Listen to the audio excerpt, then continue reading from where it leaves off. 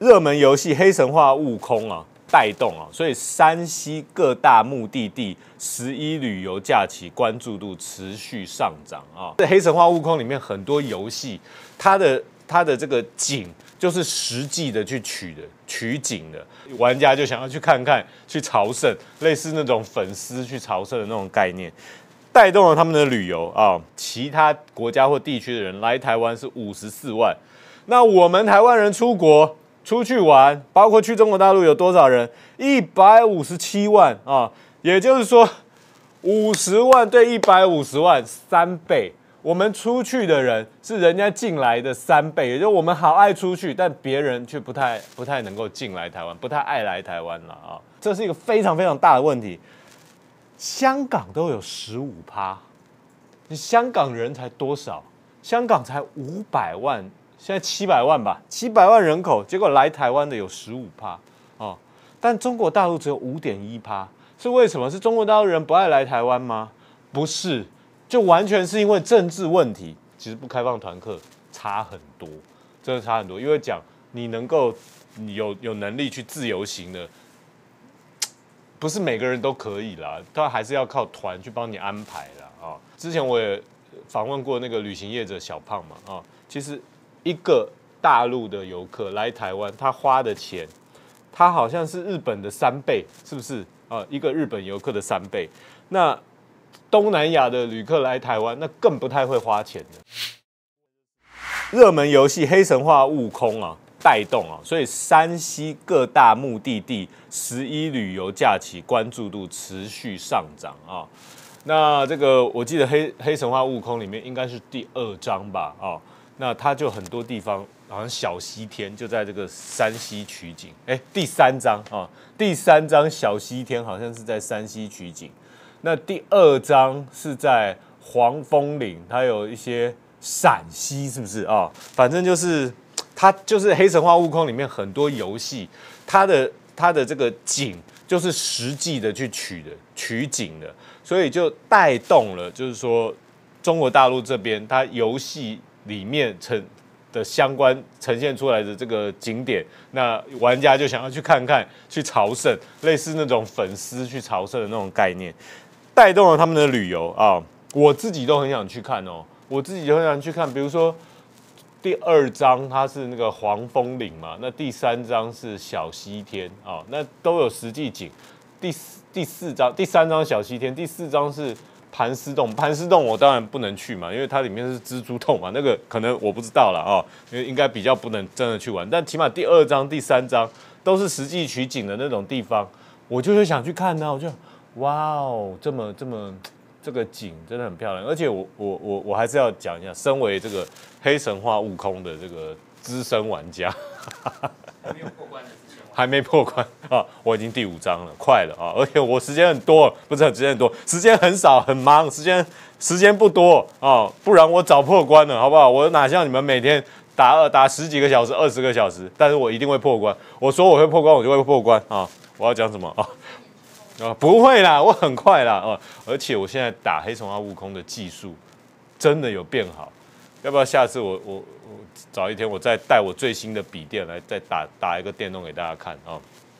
我现在技术真的变好了。好了，我要讲的就是说，因为我身为一个玩家，我在玩这个游戏的时候，你不是只是玩它游戏，你要看它里面的制作，它游戏的那个景，它地图的那个风景是跟实景去实景去采样的，所以你去看，哇哦，这个景做的真好哦。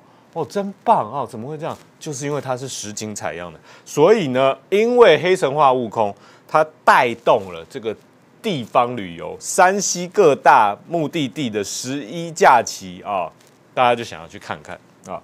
好，同城旅行显示太原旅游预定热度年涨百分之四十七啊，太原啊，它有在太原山西的太原取景啊。其他则包含杭州、重庆、上海、南京啊。其实，其实中国大陆它内内部啊，中国大陆就有很多很多城市，真的很好玩。它不要说黑神话、悟空，就很多种地方都很多景点。我我我讲真的，我个人对于这个旅游，呃，就是除了你要看景、吃美食啊，比如说啊，去逛 shopping mall 吃美食看景，这个是最浅碟的这种旅游的这种层次啊。那比较深度的旅游，你是要体验它的文化，体验它的风情，体验它的人文啊。那文化、风情、人文这种东西，就就牵涉到你这个旅游地方它有没有历史，有没有文化的积淀积累啊？那中国身为这个中华文民族嘛，身为一个历史的这个古国、文明古国啊，四大文明古国之一嘛，那是五千年这样中华民族五千年的历史，所以这五千年的历史积积淀是非常非常可观的。所以你去每一个中国大陆每一个省份，你都可以有一句话叫做“发思古之幽情”啊，那就是这样，你就到到这边你就想哦，以前那个谁谁谁啊。曾经怎么样？比如说很很简单呐，旅游旅游这种东西也不是我们现在的旅游，古人也爱旅游啊。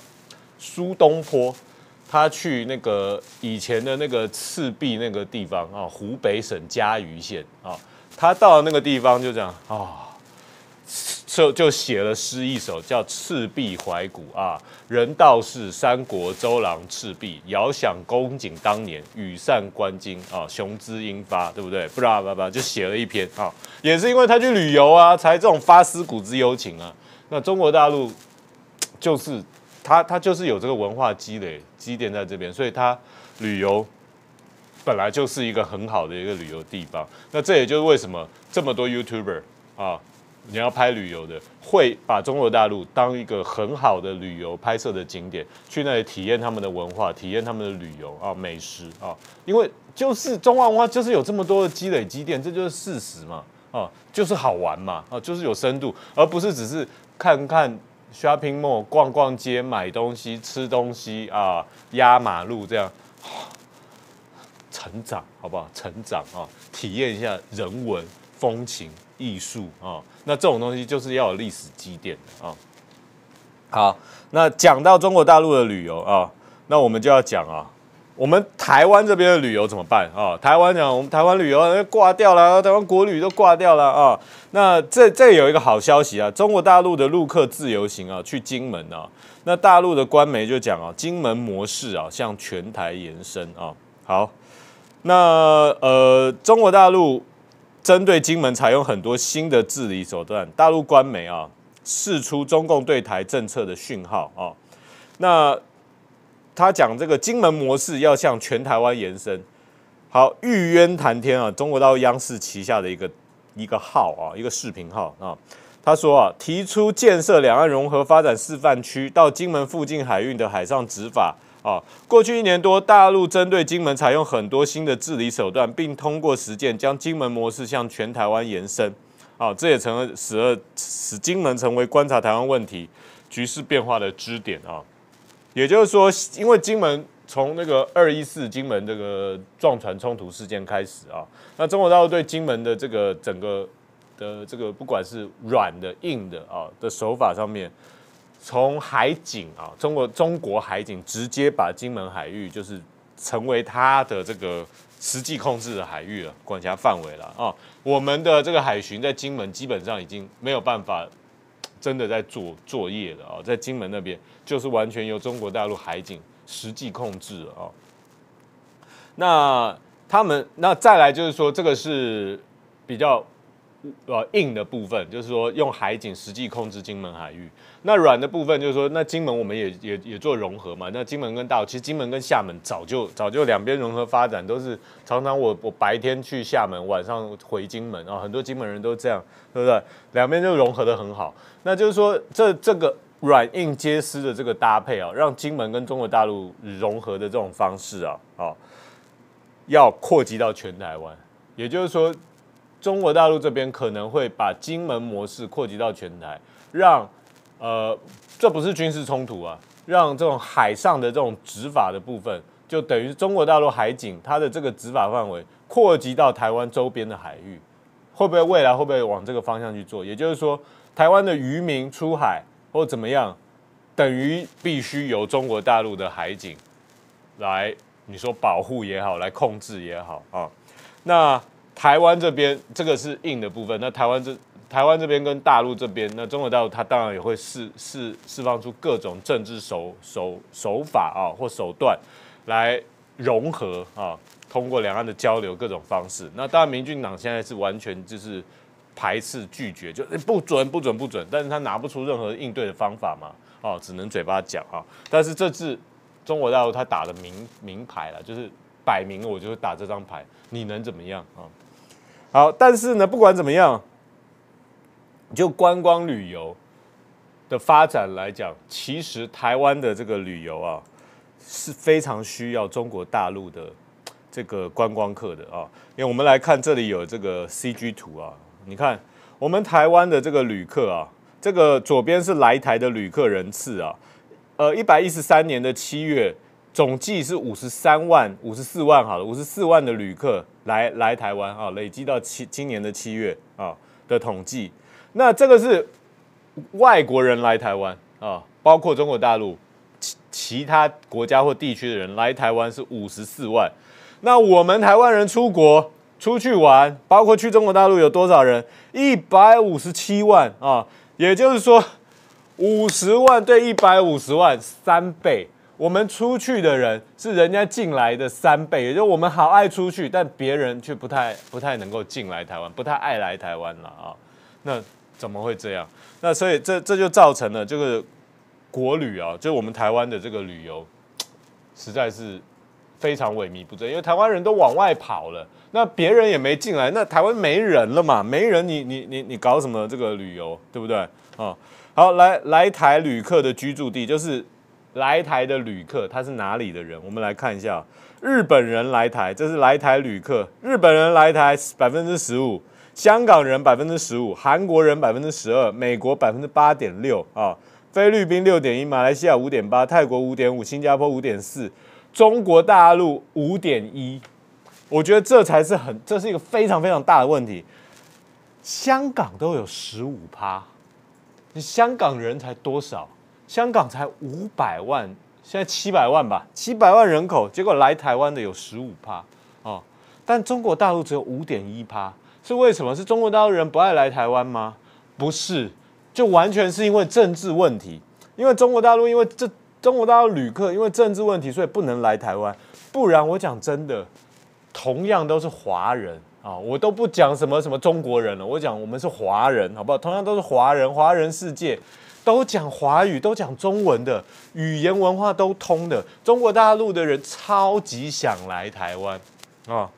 所以中国大陆只要我们台湾开放，中国大陆来台湾的比率，香港都十五趴，你觉得中国大陆会到几趴？到时候整个比比重完全不一样了，中国大陆可能就占了快，我我可能我觉得真的开放了四五成的旅客都都有可能，整个份额完全不一样，那搞不好呃出去跟进来的那个那个比重就搞不好弄到打平都有可能。如果真的开放中国大陆的旅客，中国大陆什么不多？啊，人最多啊，人真多啊！你敢开放，他他就敢来，那只是看我们容不容纳得下而已啊。但我们现在国旅啊这么惨，你还不想办法多弄点旅客？好，再来这个是国人出国的目的地，你看我们去日本三十六趴，台湾人真的好爱去日本。哦，但日本是很好玩啦，我也很想去啊。但台湾人真的很爱去日本啊，这也去日本，那也去日本啊。但我必须讲啊，台湾人去日本。大部分是干嘛？就是我说的吃吃喝喝玩玩啊，就是这样。那深度的文化的这个旅游，还是要去中国大陆，因为毕竟我们是讲华。我我我我不排除有少数的台湾人对日本的文化历史有有深度的研究或了解。啊，那愿意去做这些深度旅游的啊，这当然有。其实包括我本身，我本身对日本的这些文化历史，我也略有研究，略略有研究啊。我我也很想去，我去也很想去看啊。但是讲真的，一般来讲啊，同样都是华人，你要做一些深度的旅游，或者是有文化畅通无阻的话，去中国大陆其实是比较好的选择了哦。那当然，我们去中国大陆的比重，我觉得十六趴也是低的。那为什么？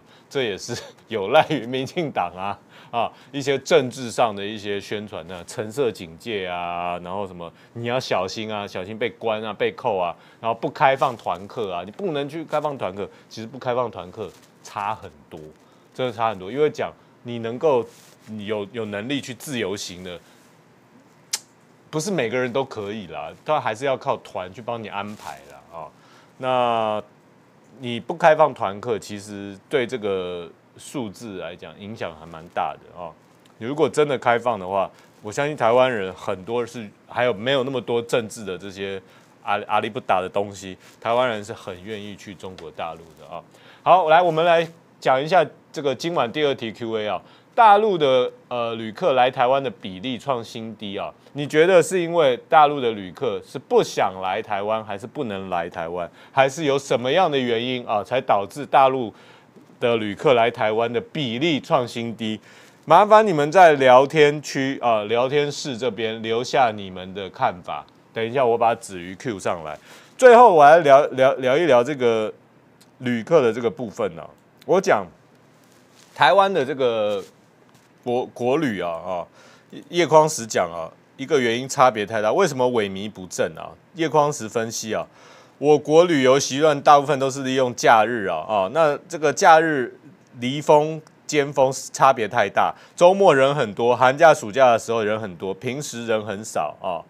那政府应该鼓励民间企业啊，把这个休假制度调整啊。好，那最好的方式是引进外来观光客。如果陆客不来，如何让日韩、中东和东南亚的旅客来哦？等等等等等啊，就是要把这个旅客的数数字啊，哦，要来的人要够多了啊。那我我必须讲了，如果陆客不来，你想办法让日本、韩国的旅客来啊。那当然，那个蔡英文政府他推动新南向政策，但是我必须讲，你之前我也访问过那个旅行业者小胖嘛啊，其实一个大陆的游客来台湾，他花的钱，他好像是日本的三倍，是不是啊？一个日本游客的三倍。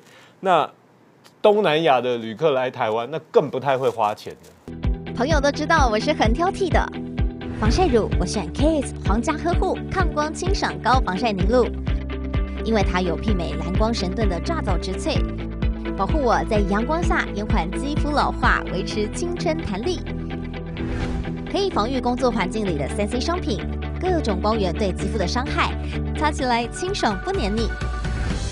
我特别喜欢它做到海洋友善。三百六十五天，天天抗光抗老化，是我的保养日常。你呢？呵护您，呵护全家人，专属你的 KS Royal Care 抗光清爽高防晒凝露。